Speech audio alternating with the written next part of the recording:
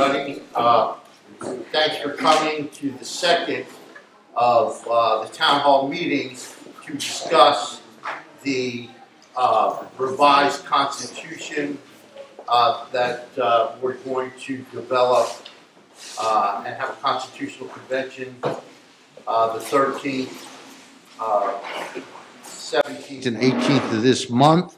I hope everybody will attend. We're here to hear testimony from people that want to comment on the draft constitution. I hope everybody has a copy of this. If you don't, uh, certainly they are available. Um, we have two more of these forms coming up. If you want to further participate or get, uh, let your friends and neighbors know that they should participate. Uh, on June 7th, we'll be at the uh, African American Civil War Museum, and that's at 1925 Vermont Avenue. It's really Vermont and, and U Street.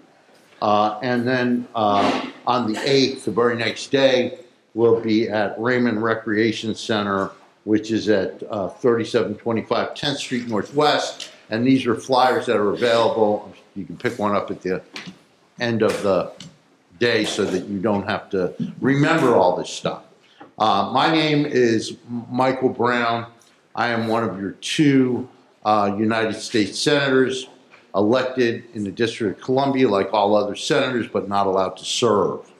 Uh, and that's really why we're here. We're here to uh, make sure that in the future, uh, the District of Columbia becomes a 51st state so that you will have representation in both houses of Congress, uh, autonomy over your budget and your legal system. Um, I will tell you that the process is going slowly. But what we're attempting to do is we're attempting to put a referendum on the ballot which would affirm our desire in the District of Columbia to become the 51st state. This is a great idea. It's actually a departure from what we've done in the past. Uh, it's making a demand on Congress and, and, and putting Congress in the position of deciding one way or the other whether you're going to accommodate us or not. Uh, it will not bring us statehood. You should understand that. It's a, it's a matter of getting the issue out there and uh, bring it before Congress. Only Congress can grant us statehood. But this is, uh, I think, a noble effort. Uh, we want to make sure this referendum passes uh, by as large a majority as possible. So we encourage all of you to get involved, not only in the Constitution process, but also in the rest of the process. Uh, I've been joined by my colleague, the senior senator from the District of Columbia, Paul Strauss, and I'm sure Senator Strauss wants to make some opening comments. Thank you, Senator Brown. It's a privilege to be here. Uh, we on the commission are excited to hear from as many members of the public as we can about this process. We want to make this constitutional convention the most inclusive ever in the history of the United States. Uh, so we are traveling all around the city. Uh, literally, every resident of the District of Columbia is a potential delegate to this constitutional convention. And I really want to hear uh, from uh, the members of the public that uh, signed up to testify today. Uh, it's important that this process be as inclusive as possible. This is a draft document, uh, but it is subject to amendment based on all of the comments that we hope to receive. So uh, with that, I understand that we have um, some members of our legal committee here. I see Fred Cook just walked in. Um, and uh, I know we have some members of the public that have signed up to, to testify. I believe you have the, the witness list? Yes, I do. And, and at this point, we have two witnesses. So, so please, if you want to, if you want to join us, uh, uh, you know, sign up. And we'll, we'll, we're glad to hear, we want to hear from as many people as we possibly can. You, you want to have the legal team, uh, Uh, Mr. Cook, did members of your team want to make any opening remarks and present the document uh, before we hear from public testimony, or do you want to hear from the public witnesses first? Uh, I don't think so. I can't speak for everybody, but I don't think so. Uh, we're happy to speak and, and Well, Uh, let- let's- let- let's have you come up at least so that, uh, well, you could, Yeah, sure. whatever, whatever makes you Whatever, comfortable. yeah. Well, why why don't we, we have one camera here, I know it's recording this for posterity, but, all right. Right, just for the record, my name is Fred Cook. I'm a lawyer here in the city, and I'm part of the um, Statehood Committee um, Commission legal team. And uh, a couple members uh, of the others of the team are here, and we're available to answer questions and to help move the process forward as best we can. Uh, and I think it's probably more important to hear from the citizens than to hear from us. But uh, to the extent the citizens have questions, we're happy to try to be as responsive as we can be. Thank you. Thank you, Counselor. Thank you. And I know I speak for Senator Strauss in saying, Mr. Cook, that we appreciate your service and the service of everybody on the committee. You guys are doing a great job, and thank you very much. Thank you. Uh, Should we call the first witness? Uh, Laura Fuchs? You out there? You want to? Hi, Laura. Welcome. So I like your I don't have t-shirt. like a written testimony Okay. today. Um, I will in the future, but Okay. I wanted to see how this works. Um, so my name is Laura Fuchs. I'm a resident of Ward 5. I've been in DC for the past nine years. I teach AP Government and DC History at H.D. Woodson Senior High in Ward 7 for the past nine years. My kids will be here at the next two, um, but I figured I'd check it out first so we knew how it worked, um, so I can prep them a little bit. I did have several questions, and I don't know who's best to answer them. Um, main ones are going to be around education and the Bill of Rights. Okay. So, when I was looking at it, I was really confused when I opened up the draft document and it opened with the National Bill of Rights, um, especially including parts that are unincorporated.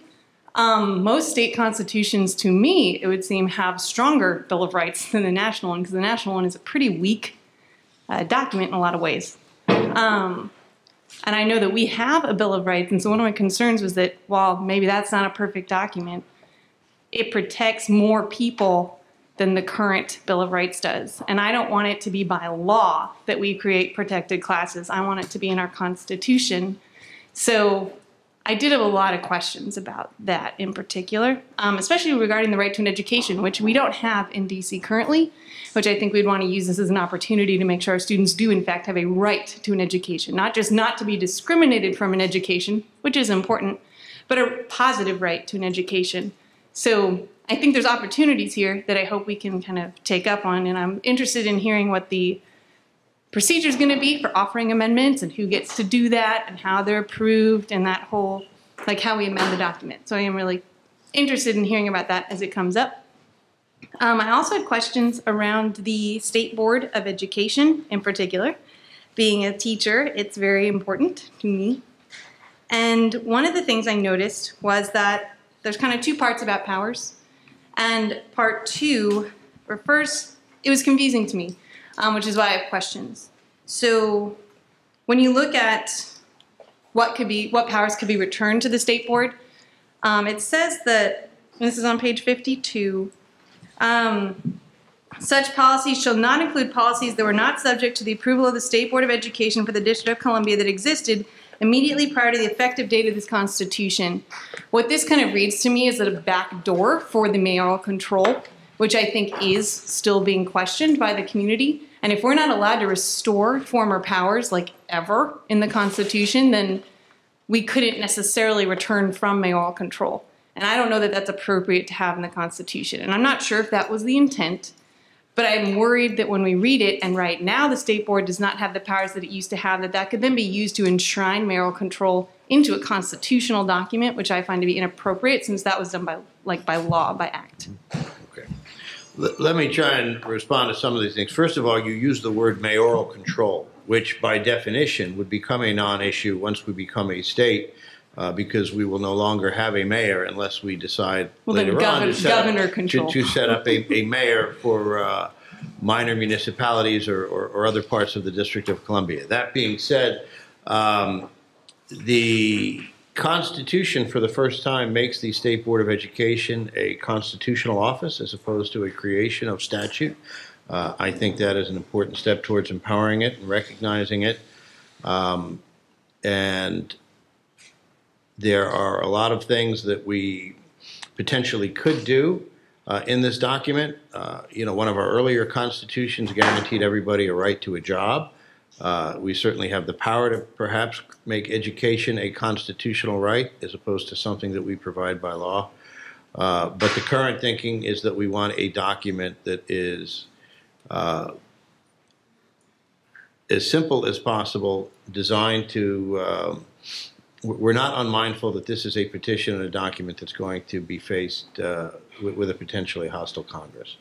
And the goal here is to not necessarily get into or arbitrate disputes between the executive branches, the legislative branches, and other institutions of our state government.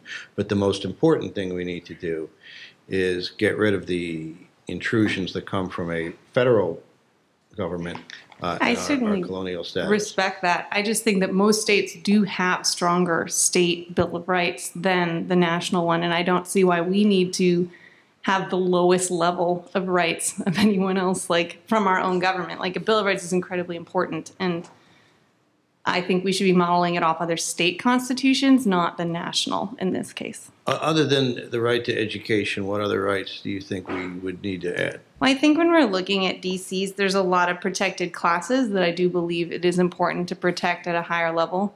Um, and while the DC Bill of Rights is, I think, kind of strangely worded in some ways, um, I think it's just like, I mean, so I didn't come prepared like with Virginia and Maryland's or other states that I really admire, but I think there are states that have pretty strong, I mean, state constitutions and state bill of rights that aren't just a direct model of the national. And i mean again we're including stuff that is not incorporated by the courts which would mean that we would have to do things that other states just don't have to do um, unless they're in their state constitutions as well. Well, let me also say that, um, uh, Ms. Fuchs, that, um, um, uh, Senator Strauss wasn't at the last meeting because he had a conflict, but this is an issue that's come up time and time again. i'm sure i saw in we're the gonna- public comments yes, yeah. So we're gonna, it's, it's something that we're gonna have to address. Uh, and as far as the procedure for amendments goes, that's another issue that's come up time and time again, and we're gonna have to address, and, and that hasn't been addressed yet. And, and we're gonna, as it stands now, the Constitution is gonna be, uh, decided upon by the five people that are supposed to be sitting up here right now. So, um, uh, that is, a- that is an issue that needs to be addressed. In my recollection, and you have to, you, you have to take this with a grain of salt because my recollector is not as good as it used to be, but there was a guarantee of an education in the first constitution that we passed in 1982 that was passed by the people of the District of Columbia. So it's reasonable to put that back in, I think. Thank you Uh, Any members of the legal team? I see we've also been joined by Betsy Cavendish as well. Uh, Thank you for being here. Anybody wish to uh, uh, address that at this point? Just thank you for your comments, and we'll take them up in the consideration, appreciate it. Yes, thank you. And thanks for teaching our kids, as the parent of three kids that have gone through the DC public school system. Thank you so much. I'll have my kids here in the next few times. Okay, and we're available to make personal appearances in uh, high school classrooms as well. Um, Or at least I am, I shouldn't speak for the other members of the commission. Uh, James Buchanan, or Mr. Buchanan, are you here? Would you like to testify, please? Sure. Thanks. Thanks for coming. Thank you. Thank you guys. So I actually go by JD Buchanan. Okay. Uh, been a resident for nine years, which makes my wife and I some of the newer people in town. um, but we really love it here. And when this came up, the chance to participate was too much to pass up. It's historic. Right. So I'm on the All Eight Ward Committee. My wife is on the Communications Committee. So we're, we're trying to do our part. So I've got a few just comments. Uh, my last one's the most important one. You already touched on it.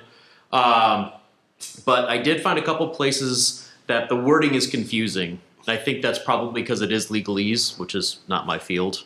As an engineer, I like things straightforward, um, that kind of stuff. But it was kind of confusing in the qualifications for holding offices. That bullet number four, which is the holds no other office other than places where they're compensated not in excess of their actual expenses, except if they're on a convention selecting a president or vice president. That is a very wordy chunk, and it's, it's there, and I think also in the governor's section. But it's it's just If you for could just cite to a page and section. yeah, page thirty-one, section three, bullet four. Mean, it's a long bullet. It actually goes on to the next page. Anyways, there's a whole lot of sub pieces in there, And it'd be nice to know what that actually really means. And I just think it means you can't be doing something else, but there's a whole lot of exceptions in there. Um, so, as I don't necessarily need an answer today, but for the legal team, just know that that's hard for just the general citizen to discern what that means. Now, most of them are probably not going to be delegates that are planning to also run for office, so it's probably not a big deal. But it was unclear. Um, going forward, in the judicial part, on page 56, section 5, they talk about the designation of a chief judge, but they never define what a chief judge is doing or what his powers are different than any of the other judges or why we even have them. And I'm guessing that's because it's modeled on the current system and there are some authority or powers in that individual. It would, I would think a sentence or two of why is that person more special than anyone else uh, should be made clear. On the submission of the budget, um, it's not clear that it'll be made available to the public prior to the board voting on it. It- Even, uh, it does seem like if a budget's being passed around, it'd be nice for us to be able to talk to our delegates and say, hey, we like this or we don't. Um, I don't know if that's something common in other places, but it does seem with our elected officials and the fact that this is our government, we should have the ability to take our time to look at it if we should so choose. And then the last one, which was the important one, which is the amendment process. Um, right now, the amendment is only allowed by an act passed by affirmative vote of the members of the House of Delegates and ratified by the majority of the qualified voters. Um, it doesn't seem like there could be a citizen initiated amendment process. And that to me seems like a big weakness. And the reason why I think that is so important right now is because I completely understand this Constitution is written to be similar to how our state government or our city works right now to make it as easy to pass. Totally understand that.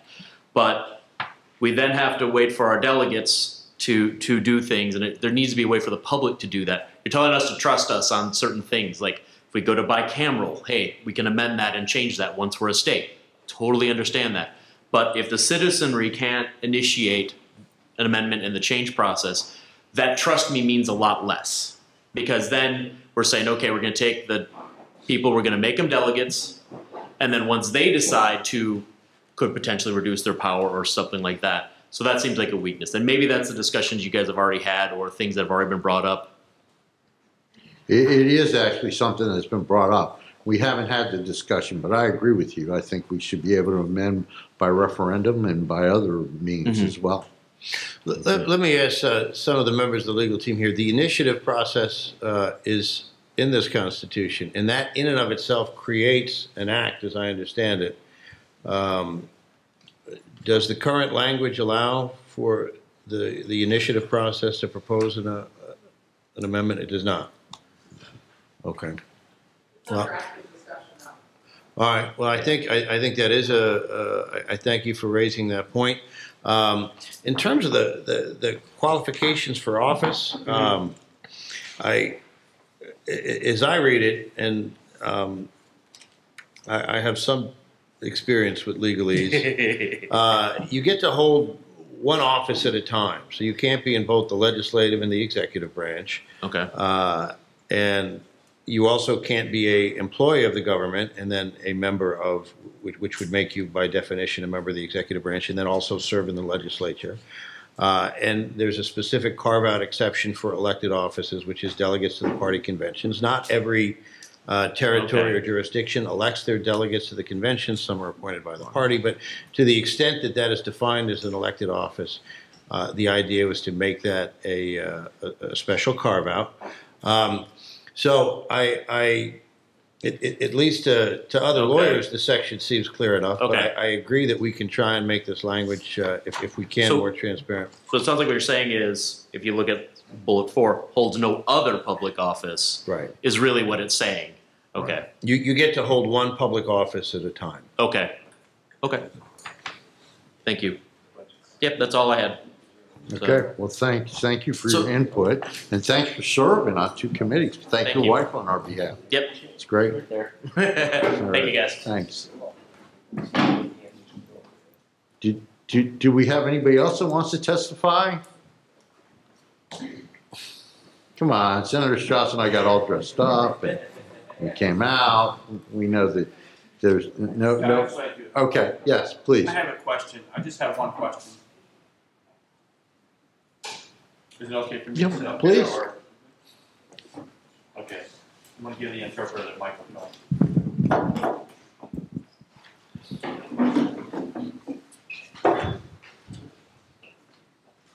Okay, I live in uh, DC in Ward 6. And um, also a, uh traveling certified interpreter. And I've visited several places in DC. And I've already met the mayor of DC, and I know that they've changed it, but it's no longer. But I'm still going to be paying taxes here. That's the first question. I'm still going to be paying taxes once we become statehood. And then the other thing is what type of uh, deaf and hard of hearing children, for example, the Kendall School and the Model School for the DC, uh, they'll be able to go to Kendall School and also for the Model Secondary School for the deaf, which is right there. So I'm wondering what the plans are for the state, once we become statehood, how those schools will be funded. I I don't know the answer to your second question. Your first question is yes, you will still be taxed. You know the old adage that there's two things in life you can't avoid, and that's death and taxes. So, uh, yeah, you'll still be taxed in the District of Columbia. Uh, as far as your second question goes, I just don't know the answer to that, but but I encourage you to stay involved in the process because these are the types of things that we need to consider as we step forward into statehood.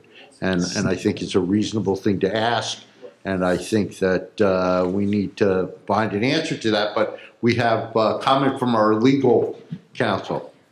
Mr. Cook? Sure. Uh, I think the answer to the question Fred- about schools. Fred, Fred, if we could just ask you to, um, Okay. I I think the answer to the question about schools uh, for the deaf and hard of hearing and how they might be funded, none of that will change under the Constitution.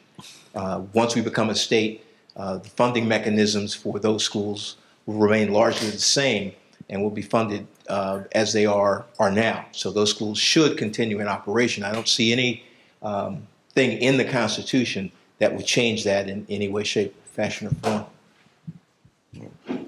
so the only real change is that right now Congress interferes with our educational policy. They have used their oversight power over the District of Columbia to interfere when we try and educate our children as we decide here. What we want to do is get Congress out of that local process and return it to the citizens here in the District of Columbia. Thank you. Okay, all right, thank you. Rob?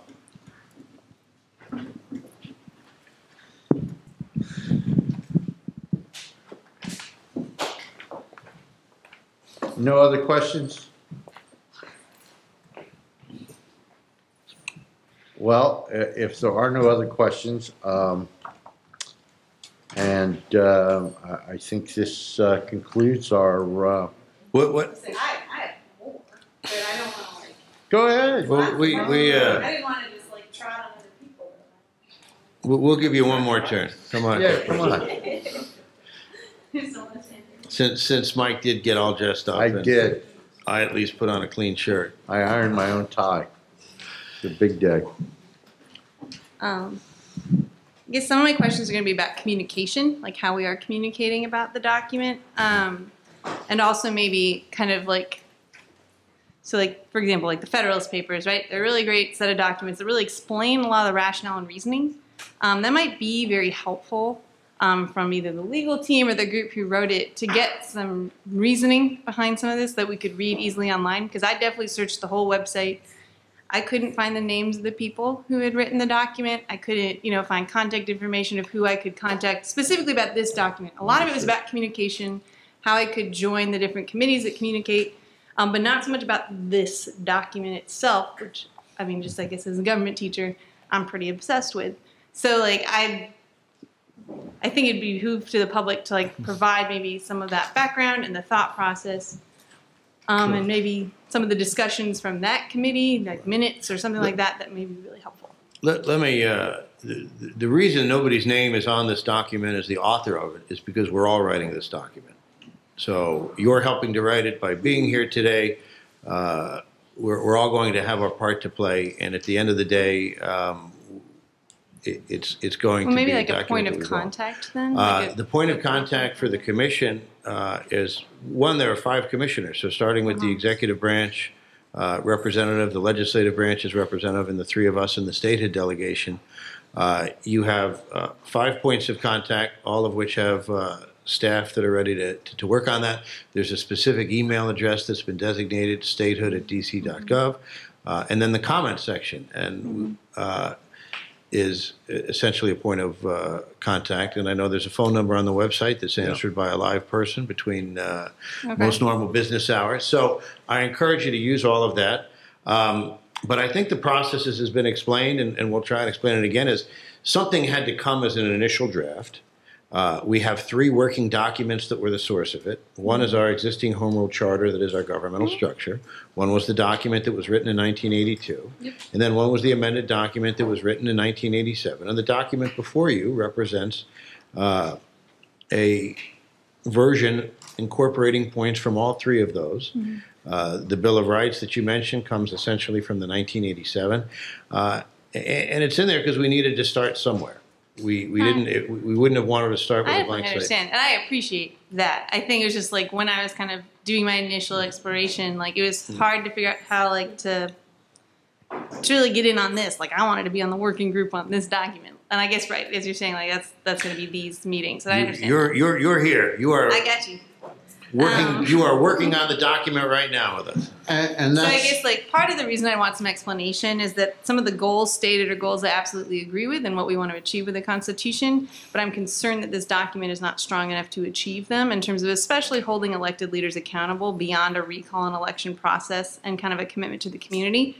So I think especially in the land of education, right now the power is vested in an executive office, be it a governor or mayor, and that being shut out of that process and that I think if we had some constitutional protections to having a voice in our government and how things are being done in the city, that people would feel a lot, um, that maybe our elected politicians would feel a lot more like they need to answer to the public. Because right now, we've reelected a mayor several times, and yet some, for some reason, they don't seem interested in talking to us ever, despite the fact that they keep losing reelection ever since mayoral control was put on the education system. And so I think, you know, this is a chance for this document to hold the government accountable to the people. And we want to make sure, and if I see more of the reasoning behind it, maybe I would find more of those instances. But when I was reading it, I was struggling beyond election and recall to see how we can hold our elected officials accountable to the people and making sure they do communicate and address the people. Let, let, me- let me uh, try and address that. Here, here's what this process is going to do, and here's what this process is not going to do. This process is designed to solve the biggest problem we have is that our elected officials are not accountable only to us, but are accountable to members of Congress elected by other people. First, foremost, that is the biggest problem that we as citizens of the District of Columbia face. And we need to have a united front against our federal oversight that is proven time and time again not to have the best interests of the people here at heart. Uh, and when we solve that problem, we can begin to move on to the other problems. What this process will not be and really cannot be uh, is an attempt to resolve the fights we within our own community may have with our own elected officials, within our own competing interests. Uh, it- that's not going to work.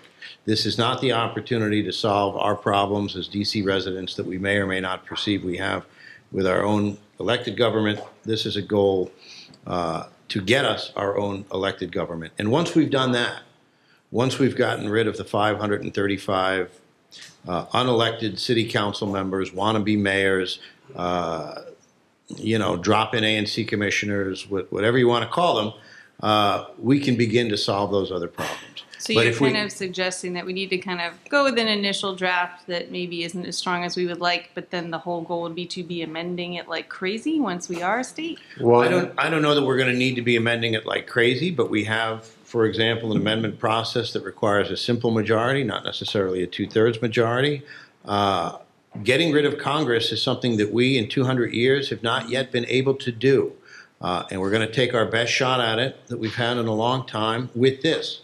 Uh, but we do know that the 1982 Constitution, a document that should have been a vehicle for moving us forward, turned out, in fact, to be an obstacle to that process. For good reasons, bad reasons, uh, it's not for us to say, but we know that in 1987, uh, that Constitution was such an obstacle that our own legislature uh, felt that they had to change it through a less than democratic process. We don't want this document to be anything less than a reflection of a open, transparent, democratic process. Uh, but if you uh, have an issue with uh, the mayor, well, look, under statehood, there won't be a mayor. Uh, we don't know who the governor is going to be. We don't know who these members of the delegates are going to be. Uh, but we do know that once we have a governor and we have these delegates, that they will no longer have to worry about congressional interference. Uh, and that is the preeminent goal. It is a worthy goal, and it is really our most important goal. And so, while yes, one could perhaps take the opportunity to expand the relationship that the elected government will have with its citizens, it's really a moot discussion until we get to the point that our unelected government, that is to say Congress, unelected by us, is out of our governing structure. So until then, uh, these are, are academic discussions, and, and I, for one, want to make sure that whatever document we end up with, although it reflects the broadest citizen input, uh, is a vehicle that uh, moves statehood forward and doesn't slow it down. You know, I would just add to that, I agree with Senator Strauss that we have to keep our eyes on the prize here, which is to get this referendum on the ballot and get it passed and make a demand. The Tennessee plan, which we're trying to implement, is a little different than the, the tactics we've used in the past. And it is a, a direct approach to Congress. So I think we have to keep our eye on that. But since I'm only half a politician and I'm half an activist, let me say that I think that you bring up some very important points. Politicians live in the gray area, so we like to write things loosely. I think it's important to have your input and to have you stay engaged, uh, but to remember, as Senator Strauss points out, that we will be able to amend the Constitution, and several people have already asked that part of the Constitution would be a mandate to have a constitutional convention within two years of passage so that we could elect delegates and go through the process the way it's traditionally gone through. And I think that'd be a wonderful idea. Okay. Thank you.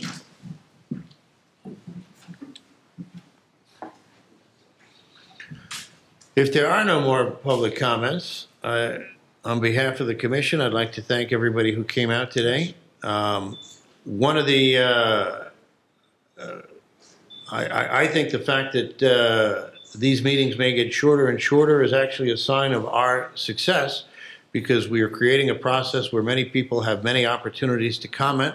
Uh, And so I, for one, am, am glad to see that uh, so many people have already been able to participate online in some of the other forums. Um, That uh, it's a, a good sign to see that this process is moving forward with such uh, uh, citizen engagement.